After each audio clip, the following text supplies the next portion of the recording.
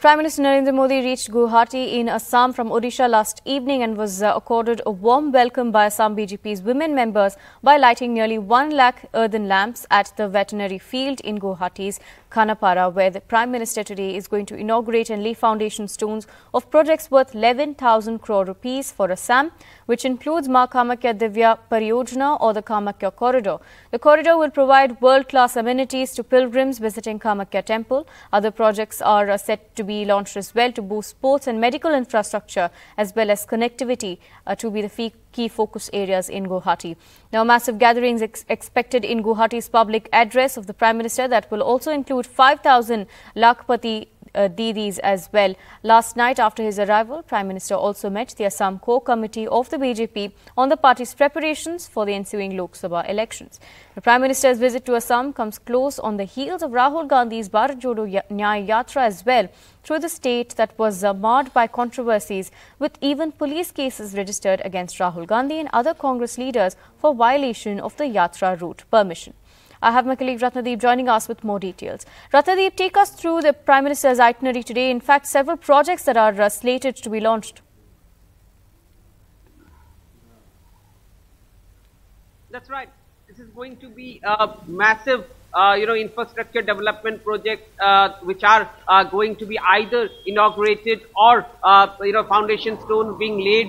Projects worth more than 11,000 crores are to be Uh, you know, either uh, their inauguration is going to be take, uh, taking place. In fact, two projects, four laning of uh, uh, key national highway segments on the on the northern bank of the Brahmaputra, an area which was underdeveloped. Now there has been a thrust in terms of giving better connectivity to that region and four laning uh, work has uh, uh, you know completed and those two key stretches of national highway will be dedicated to the nation. This will give better connectivity to the north bank of the brahmaputra also to arunachal pradesh. Also eight key projects that includes the Kamakhya access corridor uh, in line with the Kashi Vishwanath corridor where you know Kamakhya is one of the most famous uh, shrines, uh, most famous temple in the country. And lakhs of devotees come every year and uh, you know a facelift will be given to Kamakhya particularly all weather access uh, and also amenities will uh, you know be boosted for the uh, devotees. Also there are key projects like upgradation of the Guwahati Medical College which would make it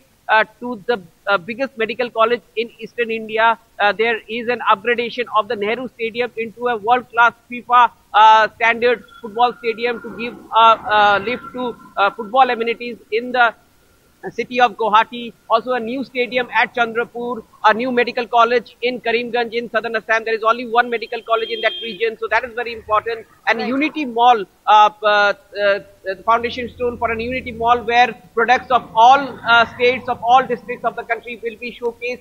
Uh, so in all, there would be about uh, more than 11,000 crore investment uh, which will be you know uh, uh, either inaugurated or a foundation stone laid now this is probably going to be prime minister's last official visit to assam before the uh, Lok Sabha elections. He would be, however, coming in for campaigning for the Lok Sabha election and therefore, although it's an official program, there will be a political undertone. In fact, behind me you can right. see uh, the main busy streets and the roads of Guwahati have been all decked up with BJP flags, large cutouts of Prime Minister Modi all over the city. In fact, he was accorded a warm welcome by the BJP uh, members, particularly the women who uh, had, uh, you know, light up uh, diyas, uh, almost one lakh diyas yesterday. Yesterday, after reaching uh, Guwahati last night, he was present at the BJP core committee meeting of the Assam Pradesh BJP where he reviewed the preparations of the party for the uh, ensuing Lok Sabha elections. The 14 seats in Assam are very crucial